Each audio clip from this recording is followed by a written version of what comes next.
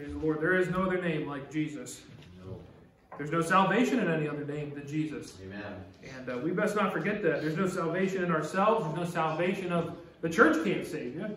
Religion can't save you. The Baptist can't save you. A Bible can't save you if you don't read it. Only Jesus Christ can save your soul. Right. I hope you know that. Only Jesus died on the cross so that you could go free.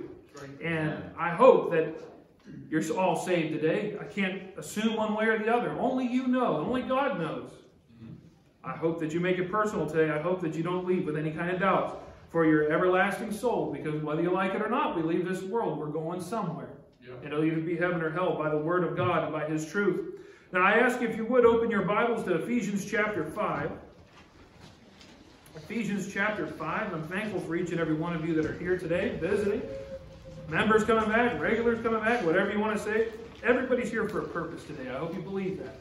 Whether you think so or not, there's a purpose in everything that's done. And uh, there's a purpose of how everything is set up. And God has a way of setting everything up for perfection. When we listen to the Lord, we're in His will. There's blessing in listening to the Lord, believe it or not. Uh, the Bible's not full of anecdotes and suggestions and fun little stories that you just tell the kids when they're in Sunday school. Uh, Jonah and the whale is just as relevant to uh, the oldest person walking the earth to the youngest person walking the earth. Daniel in the lion's den is just as relevant to the oldest person on the earth to the youngest person on the earth. Everything in this Bible is for everybody. And I hope you know that today. And when we do things by God's design, we do see the blessings of God. We see His favor on things. Doesn't mean that everything always goes without its little bumps and bruises. Don't misunderstand. This world is a sin cursed world, it's a fallen world. But nevertheless, God still gives us instruction where if we want the blessings, we want to get through the hard times as well as the good, we look at what He says on things. And today, the title of the message is called Being Circumspect in Relationships. Being circumspect in relationships. All right, I want to start off with a word of prayer, and then we're going to get right into the message today. A lot to do today. So let's pray. Dear gracious Heavenly Father, we thank you for your mercy. We thank you for your grace. We thank you for your love. We thank you certainly for your Son, Jesus Christ. And Heavenly Father, we thank you for your word. I just, I pray, Lord, that you empty me of myself. Fill me with your Holy Spirit, Lord. Just let me be a mouthpiece for you. Lord, let there be no flesh showing up here in your sacred desk. And Heavenly Father, I pray that you help us be focused on your word today, Lord. Again, keep the distractions out. The devil doesn't like what we're doing here today. And that's kind of the point. I just pray, Lord, that we be honest before you today, Lord, that we may walk out better than we did when we came in, no matter where we're at in life. We love you we thank you. In Jesus' precious name we pray. Amen. Amen. All right, so let's take a look at Ephesians 5, starting in verse 15. The Bible says, See then that you walk circumspectly, not as fools, but as wise. Well, we'll stop for a second there. You know, circumspectly is not something that, it's not a word that you hear a lot. A lot of people don't use it. Uh, so because of that, I reach for my trusty dictionary. They still exist. And what I tend to do when I'm reading the Bible or really looking into anything, if there's a word I'm not sure of, I want to go make sure of it. So I grab a dictionary, I take a look, and this is what the dictionary pretty much said. There's several definitions, they're all pretty much the same. But to be circumspect means to be wary and unwilling to take risk. And it's basically living in wisdom, if you will. Uh, I'm not a big risk taker. I'm, uh, I'm very conservative in a lot of things. I'm not a speed guy. Uh, you know, if you catch me going five over the speed limit, that's as rebellious as it really gets for me. Some of you, you like your, you know, race cars and different things like that. More power to you. I think that's great. Uh, roller coaster's not my thing. You know, race car's not really my thing. I do like go-karts, believe it or not. Uh, and I do like to bump when you're told not to bump. I, I have a competitive edge. You know, you just you got to do it under the tunnel where the, the workers don't see you, of course. But when it's when the Bible's talking about walking circumspectly, not as fools, but as wise. Now, if you're all going to be honest with yourself, regardless of what kind of relationship, whether you even do or not with the Lord, at this point, in this moment, nobody ever wants to be known as a fool. I, think that's pretty fair to, to say. Nobody wants to be looked at as foolish or, you know, a goof or something like that. You want to be looked at as someone who has some wisdom, someone who has some ability to make decisions, especially in hard situations. Well, the main focus on the message today is on relationships. And in studying about it, and given we're celebrating the Wilbers and their 65th wedding anniversary today, um, really, you, you, could just have them come up here if they would have been willing, and I don't think they would have. They just picked their brain. I, I, mean, me and Nikki are going on, we'll be married six years in May. And praise God. I mean, what a wonderful thing. I wouldn't trade my wife and my kids for anything. God bless me with my family. And I hope if, if we physically live that long, the Lord tarries on this earth, I hope we can one day say 65 years and counting. What a wonderful blessing. It's not really something you see a lot of, to be honest with you. And I think that there's such a wealth of wisdom there. You don't just stay together being fools.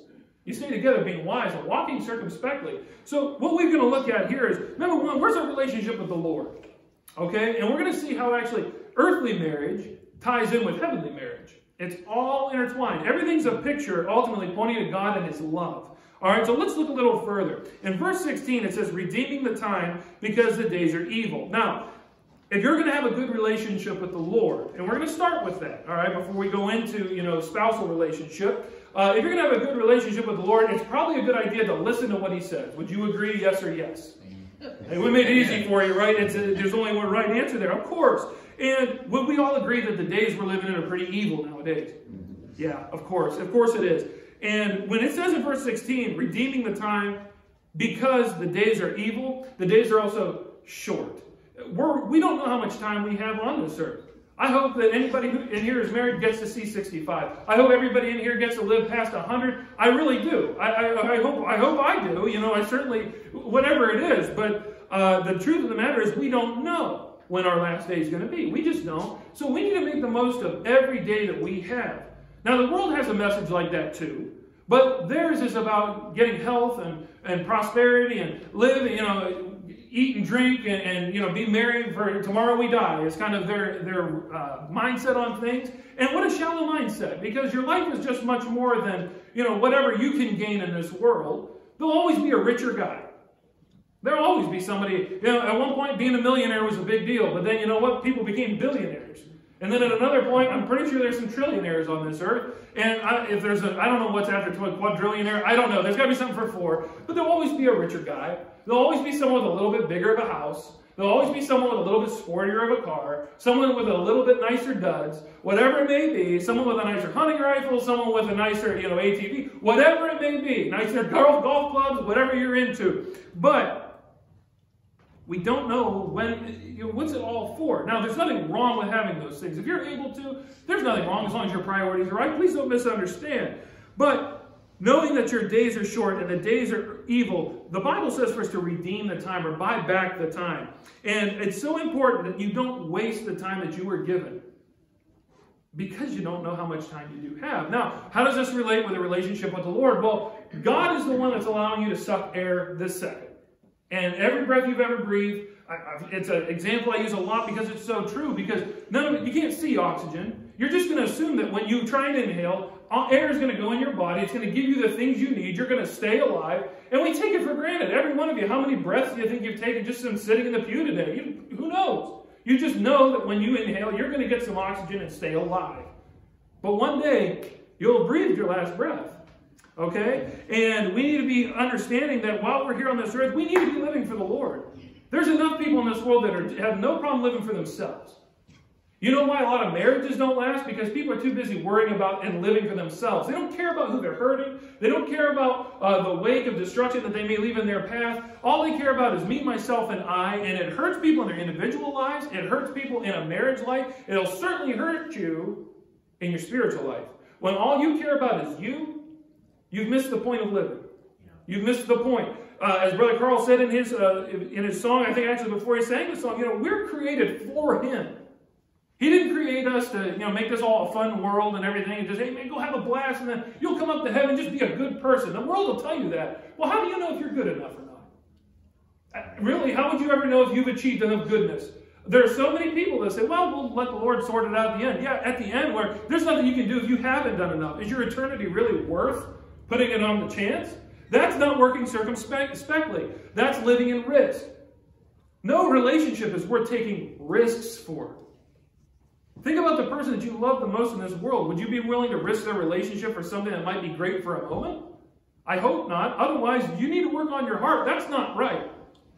That's not right. And especially when we're talking about our uh, relationship with the Lord. Look at verse 17. It says, Wherefore be not unwise, but understanding what the will of the Lord is. You should be seeking for what God's will is for your life, not just what you want to do. You know, every one of us at some point had parents or somebody tell us, listen, I'm just doing it because I know what's best for you. And as a kid, probably you're thinking, like, you don't know what's best for me. This is the fun thing. This is what I want to do now.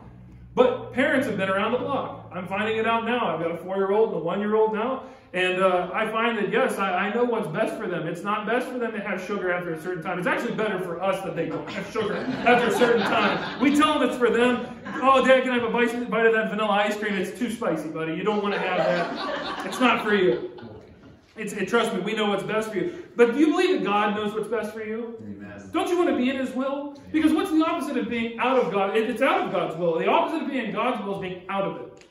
You, nobody wants to be out of God's will. Nobody in their right mind would want that. So you want a close relationship with Him. It says in verse 18, and be not drunk with wine, wherein is excess, but be filled with the Spirit, speaking to yourselves in psalms and hymns and spiritual songs, singing and making melody in your heart to the Lord, giving thanks always for all things unto God and the Father in the same, uh, or I'm sorry, in the name of our Lord Jesus Christ, submitting yourselves uh, one to another in the fear of God. Let me tell you something. You know, a lot of people, especially you know in relationships, you know, if you've ever got a love note in your life, someone's ever written you a little secret love note, whether it was in school or whatever. Maybe it's a card on your birthday, whatever it may be. And, and I know and there's a good set of guys in here and probably say, ah, I don't really. Man, I don't know about you. I do like to see those love notes. Yeah. It's nice to see on paper how someone feels because you can tell them all the day long, and it's 100% true. But reading it, someone taking the time and writing a nice thought down about you or something is very special. Well, God gave us a love letter. It's called His Bible.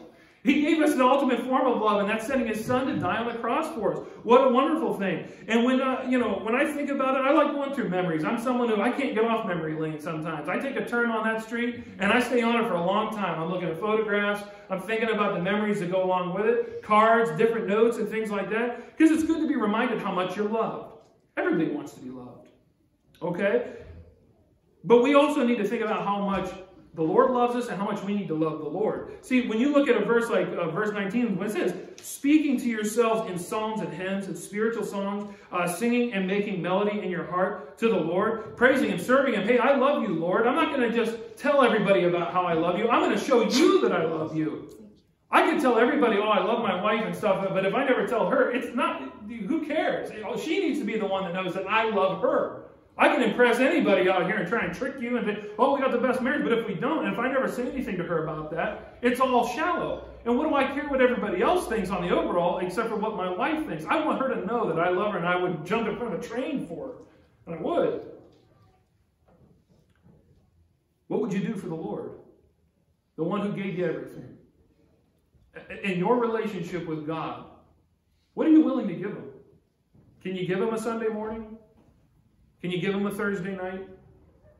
Can you give them a, you know, a 10 to 15 minute devotional in, your, in the Bible every day? Can you pray to Him? Can you just give thanks? Because that's the next verse. Giving thanks always for all things unto God and the Father in the name of Lord Jesus Christ. He gives you everything. Yeah. Said before, we're spoiled children. We really are. God just, He takes care of us and then some. He gives us so much. So, you know what? I can certainly speak to myself some psalms and hymns and be reminded of how good God is. Because if you're not taking the time to remember how good God is, you're not thinking about Him. Does the world not give us enough distraction from God? Things that aren't of God? There's plenty of things out there. There's plenty of stress out there. You all know what I'm talking about. There's just so much, and they're not necessarily wrong inherently. But when other things usurp the time that you spend in your relationship with the Lord, there's a problem there. If you're married and there's things that step into your time that you should be spending with your spouse, there's a problem there. You know, when when golf or bowling league becomes more of an important thing than spending that time with your wife, there's a problem. When going, uh, you know, going out and ladies, you know, because I'm not one, I don't know what all you like to do. I don't want to be stereotypical. I guess shop. People say shopping, different things like that. If you don't like it, whatever it is, it's hard for me to relate. I don't know. But whatever you like to do, nothing wrong with it inherently. But if you're doing more of that than spending time with your spouse, that's wrong. If you're doing more things to serve the world and serve yourself and things and you're not serving the Lord, it's wrong. You'll tell yourself it's not. You'll say, well, I got a hard life and all this stuff. And you might. I'm sure a lot of you do.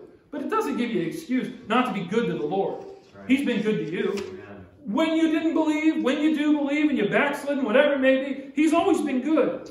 We need to be good to Him. We need to sing to Him. We need to give Him all the glory, honor, and praise. It's a chest thumping society. Being a big sports guy, you always see these guys when someone hits a big game winning shot and they're out there thumping their chest. Oh, look at the shot that I just made. But the more impressive teammate to me is the one that says, Man, I wouldn't have got that shot if my team hadn't played good defense, got that steal, got me the ball, and I hit the shot. I'm building my own brand. Your brand is the name across the front is in my opinion. That's not popular today. They'd probably ban you from sports if you said something like that. But it's about the team that you play for. What team do you play for? What you know, what's your family name? Do you play for your family or do you play for you? Is it about the name on the back of your so-called jersey or is it about the one on the front? Are you about serving the Lord and God's team or are you about serving yourself? Are you about building your own life, your own empire, so to speak? That's not a good relationship. None of you would like it if your spouse or anybody that you love very much treated you maybe the way that you treated them. Think about that for a second. Relationships are a mirror. You want your spouse, you know, whoever it is in your life that you love, you want them to treat you a certain way. But are you willing to treat your spouse or your whoever that same special way? Oh, we all like to get all the good stuff, but we don't always like to put the stuff back in. We want all the blessings of God. But when something goes wrong, well, God, why would you do this to me? Well, you know what? Are you serving Him? Or is he nothing more than a spare tire in your trunk? Well, I'll just bring you out when I need you. That's not a good relationship. You don't get to 65 years of earthly marriage doing that. You don't get to a good relationship with the Lord doing that. Now, He still loves you. He's willing for you to come back anytime. God doesn't leave. Understand? He doesn't move on. He's not the one that's doing the cheating. It's usually the person that's out doing the cheating and cheating on God. That's what it is. Mm-hmm. And He's a jealous God. Any one of us who find out about that, you're a jealous person. Let's be honest. You find out that your significant other is talking to someone else, that there's a, there's alarms going off there, right? That's not right. I'd be jealous. I certainly would be. So let's look at what the Bible says about cultivating that relationship with husband and wife. Okay? And then we'll tie it up here at the end. In verse 22, don't throw anything at me. This is what the Bible says. We're going to, hey, it's the truth. It says, Wives, submit yourselves unto your own husbands as unto the Lord, for the husband is the head of the wife, even as Christ is the head of the church, and he is the Savior of the body. Therefore, as the church is subject unto Christ, so let the wives be to their own husbands in everything. Now, let's just hit the brakes here for a second. the world has ruined the basis of this. Mm-hmm. I'm all for women's rights. But as far as what the feminist movement is out there, it, it, a lot of it, and not all, I'm not going to, I don't make blanket statements, but a lot of it is to degrade a man, make you, make ladies think you don't need a man. And it's all about, the whole message is about being a strong, independent female. That's all you hear, and it's the biggest thing. Listen, ladies, it's not wrong to be strong. It's not wrong to have, be independent. I mean, there's time in there's going to be a time in your life where you may not be married. Some ladies live in singleness their whole life, as do some men. There's nothing wrong with strong, independent, but God's design, if He has put you in an opportunity to be in a relationship, He's blessed you in that way, there's a role that that husband does play for you. And husbands, there's a role that that wife does play too. You see, two become one flesh. Mm-hmm. It's come. It's that team thing again. It's two becoming one. Now, when the Bible says submit, uh, it says uh, in verse 22, wives, submit yourselves unto your own husbands. The world heard that today. If, if we had, if this was on the news or something like that, they'd, it'd be pitchforks, it'd be fire and stuff like that. But it's God's plan. And people say, well, of course you can stand up there and say that you're a man. Hold on just a second, ladies, because men, it's your turn now. And we'll get back to this in a second. Verse 25 says, Husbands, love your wives even as Christ also loved the church and gave himself for it. Guys, there's a big, big, big load of responsibility on our shoulders for our darling wives. There is. Any man that sits there and acts like a tyrant in front of their wife isn't a man. Let me say that again. Any so called man that would stand up there and be a tyrant and try and be a boss and a king over their wife is not a real man. Amen? Amen. Amen. Now, Jesus is our king, and we're supposed to love our wives as Christ loved the church. Well, how did Christ love the church? Well, for one, he gave his life for it. He got beat for it. He got mocked and ridiculed for it. Anytime you're going to do things God's way, the world isn't going to like it. You're going to be looked at as backwards. You're going to be looked at as archaic, old fashioned. I hate when people use the year as an excuse for living however they want. Oh, it's 2021. Yeah, I can read a calendar. I understand that, but God tells me that He is consistent. He tells me He's the same yesterday, today, and forever. He doesn't change with the times. His word is absolute, it's forever settled in heaven. He's not up there making edits. Oh man, I forgot it's 2021. You know what? Actually, it's equal. Matter of fact, man, you should be submitting to your wives. It doesn't say that. It says, Husbands, love your wives. Love your wives as Christ loved the church. He loved us so much again that he died for us. He gave the ultimate sacrifice. He was long suffering and he is long suffering. You know what that means? He's patient. He doesn't just fly off the handle and everything isn't an inconvenience and stuff. You think about the things that we take to the Lord on a daily basis and he doesn't kill us. That's some supreme patience by the Lord. So many Christian relationships do end in divorce. Some in here today are in it, going through it and different things like that. I have good news though. You know God don't throw anybody in the trash. You know what? We're in a sin-cursed world, and things don't always go according to plan, do they? You'd mean for them to, you absolutely like to, but some things, things just happen. God still loves you. Amen. And folks, He loves the one that got hurt as much as He does, He loves the person who did the hurting. Now, that's something that's a little bit harder to swallow, but it's true. God's willing that none should perish and that all should come to repentance. That's how much God loves us. We like to think God loves our little bubble right here, Lighthouse Baptist Church of Rome. Isn't that warm and fuzzy? He loves all of us, and He does. But he loves the atheists out there cursing God every chance he gets and things like that. Out there, you know, living a, a, terrible, you know, sinful life. He loves them just as much as he loves you. Doesn't that blow your mind? Doesn't that blow your mind? You know, what's interesting about uh, marriage, you know, we talk about wives submitting your husbands. Husbands love your wives. You know, you kind of almost can't have one without the other. You really can't. I feel that a good Christian wife, it's so much easier to submit to a husband who's loving them as Christ loves the church. That's how it fits. That's how it fits. It's not a bad thing. But there's so much poison being. Men, it, it, they, they talk about toxic masculinity. You may have heard that term. I'd like to know what that is. Uh, I might have it. I don't know. Uh, let me tell you. As a man, I like to hunt. I like to fish. I like sports. There's some things I like to dabble in the arts. Uh, not personally, but I do enjoy. I like watching a play and, and, going to concerts and things like that, and orchestras. I like that stuff. Uh, I like having a beard. Today it's particularly useful. It's cold outside. Uh, I'm raising my sons to grow up and be men. They don't get a choice of what they're going to be. God already decided it for them. People can ultimately do with their free will what they're going to do, but you can't change what God has already settled. Amen. You can't. And I'm sorry for the people who have issues with that. Folks, the devil's taking a field day with that. I don't, I don't look at these people like, oh, what a bunch of freaks or something like that. Here's some people that the devil's got in and completely warped their life. They need prayer. They need love. They need the gospel. Amen. They need to be told the truth.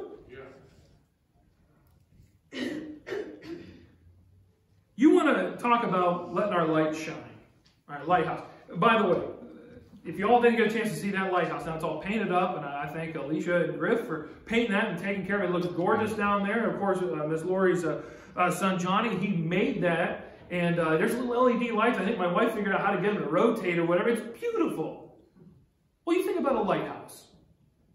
You know, if you were to talk to someone who made their living on the sea or on a lake or something like that, how important a lighthouse is to them. That lets you know where safety is at. Lets you know you're almost home. There's something about a lighthouse. God's our lighthouse, is he not? He, he lets us know where that safety is. He lets us know where the safe harbor is. He takes care of us and he protects us. That's what he does for his church. Husbands, you need to be a lighthouse in your house, if that makes any sense. You need to be a beacon to let people hey, there's safety here. I'm going to take care of you. I'm going to love you. I, and, and I don't care if it means I got to miss this or miss that or this, that, and the other thing. Man, you've got to be sacrificial. You got to be. Not to the point where you're a doormat. Not to the point where you've absolutely been, you know, uh, as they say, maybe get your man card taken away. You're still a man and things like that. You understand. But you do need to submit to your, or I'm sorry, you do need to love and honor and give sacrifice as Jesus gave sacrifice for his church. Don't forget, he prayed before he was taken under arrest. And if this cup would pass from me, that gets to me. He prayed and sweated so much that the sweat drops were like blood drops. That means a lot bigger than a sweat drop. That tells me Jesus was going through something right there. Yeah. Right? And I want to tell you something. Because I'll be honest, as a preacher, it is hard to say, wives, submit to your husbands. Husbands, love your wives. Even though it's truth, it's sitting right here. I can't argue that. It doesn't matter if I like what's in this Bible. Right. I was never called to like it. I'm called to believe it. Amen. Not as a brainwash, not as a drone, but you know what? The Lord has done enough in my life to prove to me He's real. Yes. He shows me every day. He's done miracle after miracle after miracle. He'll continue to do it. He's faithful. But when you consider this, and doing things God's way, and you see the blessing of it, folks, let me tell you something. As the church, we are the bride of Christ. That's important. Now, we're going to rein this back into a little bit of your own individual selves for a second. And men, sometimes it can be hard to wrap your mind around this, but we are part of the bride of Christ. It's a little bit hard to get your mind into that, and it is for me at times too. But I want you to consider something. Would you marry you how you're living right now? Ladies, would you marry you how you're living right now? By God's standard. Because we're his wife, his bride. You don't think he's he's excited, folks. He can't wait for his marriage day. The marriage supper of the Lamb is going to be fantastic. You want to talk about a banquet? Yeah. A heavenly banquet with Jesus, our bridegroom. He's waiting for the Father to give him the go ahead. I, am t- I, I, you know, I don't want to make it's not a joke or anything like that, but I got to believe he's anxious to get down and get a hold of his bride. When I, you know, when uh, Nikki and I were engaged, you know, especially as the, the date was approaching. See, now at that point it wasn't. We did know the day or the hour we were getting married. Otherwise, it would have been a strange wedding. we knew we had it settled. But as that time was getting close, you know, the excitement, the nerves, the anxiety, the, oh man, we're almost there. A lot of different feelings. But I couldn't wait to get married. I think Jesus is, he's, he's ready. And he loves us. But you know, some marriages don't work out because it, they don't want to see it as a team. Yes, we may take the wife to submit. Again, it also takes the husband to love. It's not just one, you do all this and I'll just do whatever I like. That's trash. That's not of God. That's sinful. Folks, there's been preachers that don't know how to treat a wife. Believe it. Act like you need to bow down as if they were God themselves. Baloney. Men, you know what? As husbands, we're we're sinners saved by grace if we're saved today. That, that's about as much as we mount up to. That's just the truth. And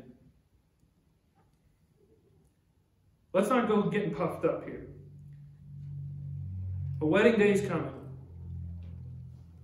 And we do need to consider would you marry you right now?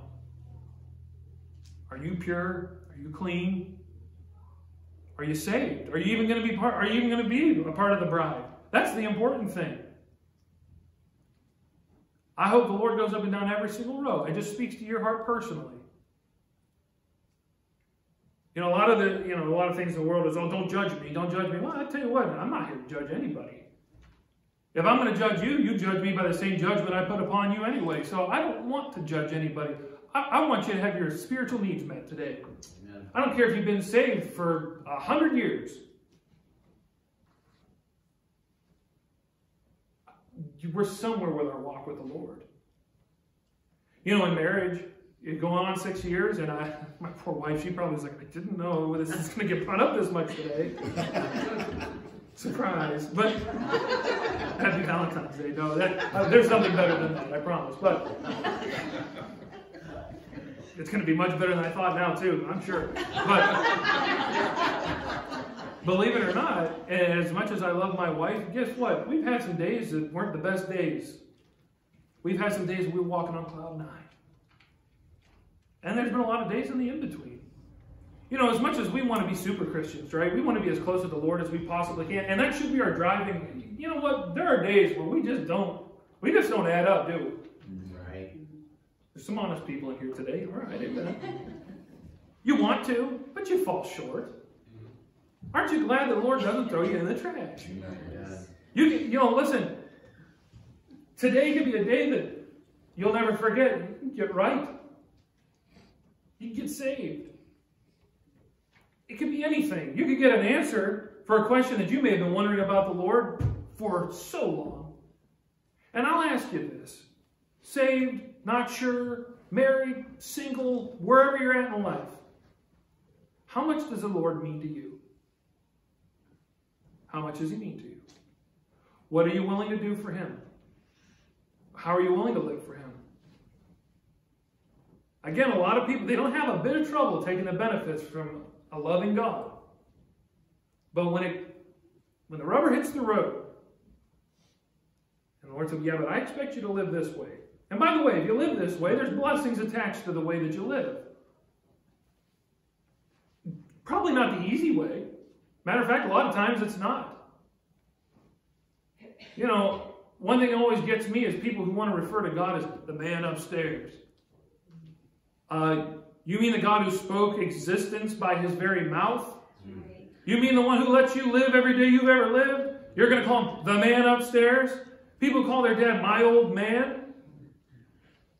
That was the dad that probably busted your hind end a few times. You want to call him a your old man? I wouldn't. That's risky. and that's not worth walking circumspectly if we're walking risky. Your relationship with the Lord is not something to risk. Thinking, well, I think I'm saved. Not worth the risk. I think I'm living pretty right with the Lord. Not worth the risk. You see, because if you're going to live outside the Lord's will, there's going to be punishment. If you're God's child, you will be chastised. You know what that means? You're going to be punished. Because He loves you. And because He wants to straighten you out. Because He's constantly doing a good work in you. Whether you want Him to or not, He's still God. Would you redeem the time today? Would you redeem the time? The truth of the matter is, not, we, I'll probably say this every, every message because it couldn't be more true. You may never sit in this pew again. Member or visitor or whatever. You may never sit. I may never stand behind this pulpit again. I have no guarantee any more than any of you do. Is it worth taking the risk? If you're in a relationship today, if you're married today, is it worth taking a risk? Is it worth being unfaithful? Is it worth being selfish? Is it worth being hateful and mean? Is it worth being self serving? Or is it worth being sacrificial? Is it worth being loving and strong? Is it worth being true? You have to make that decision. God gives us free will, doesn't He? Yeah. You know, He lets you make your choices, good or bad. A lot of people want to blame God when things go wrong, but if they really want to be honest and look back and reflect on their life, and they're going to be honest with themselves, like, yeah, I shouldn't have done that. I should have been better at that. I should have, you know, check, check, check, all these different things. And we know that. And it's all of us, folks. It's me just the same as you. Society will tell you it's always somebody else's fault. The Bible's here to tell you it's you. it's, it's you. At least it's a level playing field. You can, you can work on yourself or you can't work on other people. That's a good thing. Because I'm a husband, husband, I'll give you a little bit more and we'll be done. We talked about, you know, not calling God the man upstairs, not calling your dad the old man. I hope you don't have some little dumb name to call your wife either. Ball and chain, really? hey, no ball and chain. Help me. Genesis chapter 2, verses 22 through 25. I'll read that to you. If you want to join me there, you can. This is the first marriage, Adam and Eve. Genesis 2, 22.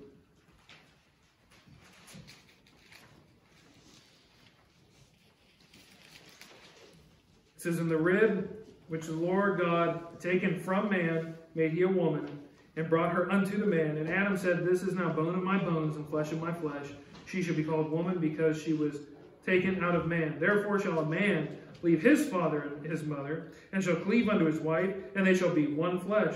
And they were both naked, and the man and his wife, and were not ashamed. It was the ultimate team. God created a helpmeet for Adam. Adam didn't he didn't uh, take a, you know, a, liking to the animals that were there or anything like that. God made someone in, uh, in his image. From the rib of a man, he made woman. That's how Eve was created. Man, it's not good for any of us to be alone, is it? It's not for me. I don't like being alone. That helpmeet's important. One of the biggest uh, praises, if you will, that I give for my wife is, you know, it's uncanny and only God could do it with the areas of life where I'm not very strong. She excels at them. And I would like to think uh, the same is on the reverse. Maybe on things where she would say, I'm not as strong at that, but he sure is. Because you know what's cool about it? One. Two, becoming one. We're together. If you're married today, you're together. And I think that's such a beautiful thing. The Lord gives us everything we could ever really want or need. And I'm thankful for that. I'm thankful for the Wilbers today. Uh, I'm like 99% sure this is the first 65th anniversary, anything I've ever heard of, seen, been a part of. That's amazing. And I hope you come and get to know them, love on them here in just a minute when we go downstairs. I want that.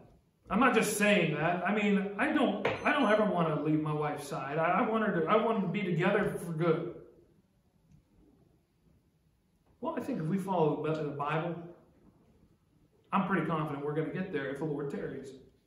If He doesn't take one of us home beforehand.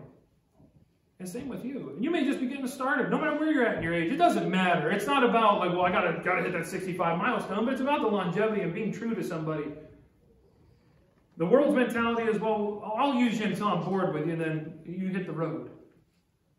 Oh, well, there's some hard times, so you know what? I don't want to. I don't want to have to work through anything. So why don't you leave? I don't want any commitment in my life. Come on, guys. How would you feel if the Lord treated you like that? I don't want any commitment with you. You're not going to be that faithful to me and stuff while you're out. But He doesn't do that. Take advantage of the grace that He gives you and live for Him Take advantage of the love that you get from your spouse and grow with that. It's a marriage is a great gift. Marriage is a great gift. And one day, single or married, wherever you're at in your life, eh, divorce, whatever it may be, maybe you never get married, whatever it is. If you're saved, you will get married to the best husband there ever could be. The one who gave his life for all the world, Jesus Christ. It's completely worth it, and I hope you're there today. Let's stand on our feet and bow our heads in a word of prayer.